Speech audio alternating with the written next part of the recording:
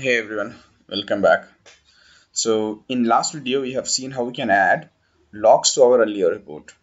And today we are going to add a bit small one or two details and also we can see how we can add the same logs to our console as well. Right? So let's get right into it. So first things what we have to do? We have added our command or the log here right in this report.log step and this is what is adding everything in in the log right? Now apart from this what we can do instead of you know just adding because we are using Allure report I'll what I'll do I'll create one utility here okay? First export const log I'll say add log. Add log. In this we should pass a parameter. So whatever you pass that will be logged arrow function. And inside that we'll add like this add a step. So what we can say here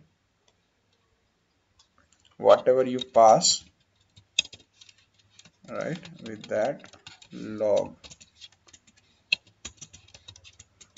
And after that we'll add also console.log not sorry config. Console.log and the same thing we can just copy paste here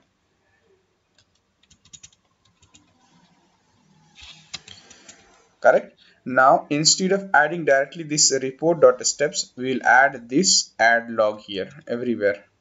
So let's just keep changing wherever we have added here and you'll see the difference. And we have added in one we have used in one more place if I remember correctly yesterday. So in steps and in register as well here in this place. Right? So we need to import that. Let's delete this and we have to import add log. Add log. It will automatically import here. The same thing you need to do here as well. This is not a best way to add here logs okay? It's just an example i have showed here okay? But usually you keep all your logs in your utility folder or you can keep in your page class not here. So real time we don't do that here but just for an example as i was showing i have just imported here and added a log okay so yeah this is done. Okay and one more thing we I need to show you the change. If you go to configuration file our delete directory code I think if I keep on scrolling down here in hook section delete directory is inside before session. So if you keep it here sometime it deletes sometime it takes time it is creating a problem. So you just cut it from here and I'm going to comment this complete section itself. Okay both line and I'll put in on prepare while preparing to execute or connecting session itself I'll keep this directory okay? So just move that from before session to on prepare this delete directory so that you'll get a proper result. In after scenario sorry after feature let's add few details. So usually what happens we want to see which uh, you know browser we are running our uh, test and which platform or which os we are running okay? So and which url what is the url uh, which environment url you're using we can add those details add as well here in after feature okay? So what you have to do you have to import it again in same way as we have done here okay? So in command.ts we can um, import this first very similar fashion on the top of the screen okay? Let's add the import and come back here in this section not here after section here. And we can say reporter. Now this time we'll not say add step okay? Report dot. We'll not say add step okay? We until now we were using add step if you see here right? Add step. Now this time we have something called add environment so if you add environment it expects two uh, input parameter okay name and value key and value pair. So I'll, let me add few details. I'll say first which browser we are going to we are executing. I want to log that in report so in comma and i'll say chrome.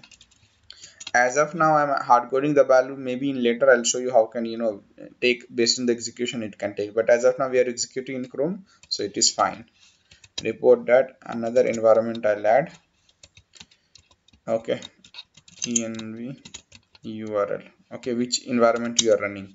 Usually what happens in your real time you have you will have only one your application url one or two for the same application. As for this example we have used different urls but i'll take as of now just to show you how we can add. I'll take one environment data that is we are reading from here app base url which will based on the dev and qa it will change right? So i'll just add it here okay. And then let's add os as well which os we are trying to run. Add environment. Uh, i can say platform. Okay comma. And to read the platform you can simply say process dot platform.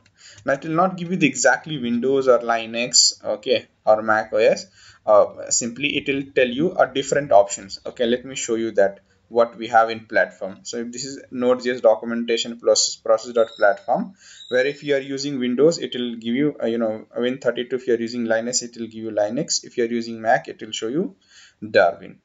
Okay? So these are the possible uh, you know logs that you can generate or you can have in your report.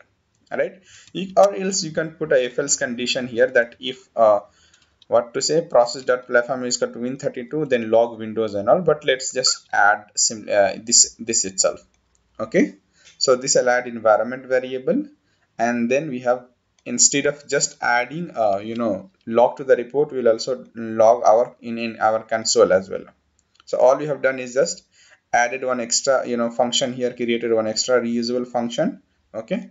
And that we are using instead of using add step everywhere we are using add log right now let's take an example of any feature file. So what I'll do feature and let's take the register itself.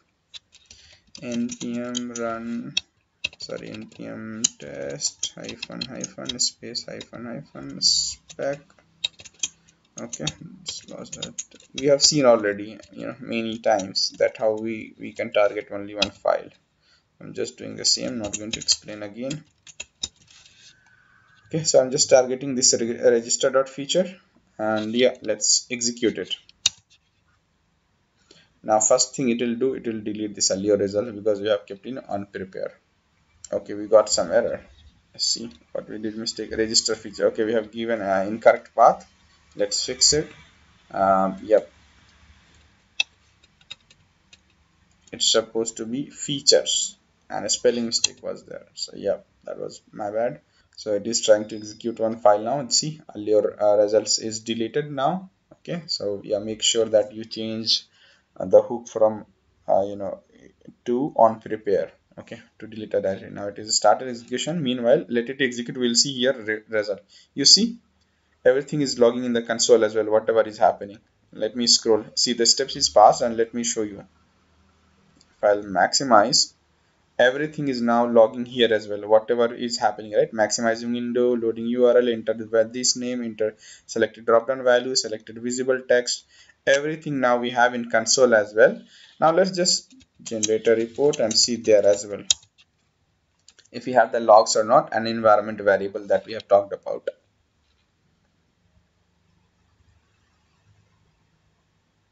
Just trying to open the browser. Yep first things uh, let's just check our log is correct or not which we have already seen in the last video but just to make sure see? Step and this is adding the url is added. Similarly we have added this as well. And then these other details as well right? So if you see here we have steps added. And we have added this configure in configuration also we have added this environment variable right? These three. And if you come here you'll see in previous execution, this was empty. Now you see we have browser is equal to Chrome, environment URL is this, and then platform is Win32 as discussed, right? So we are able to add few more details also here, environment details in which base URL, what is your base URL, what is the browser, what is the platform you are running. You can more details, right? You can, you, you are, it is giving a little more insight as well in the report. Just to make sure you are running in correct environment variable, uh, this will help you always, right? So yeah that's what I want to share in this video. Uh, thank you so much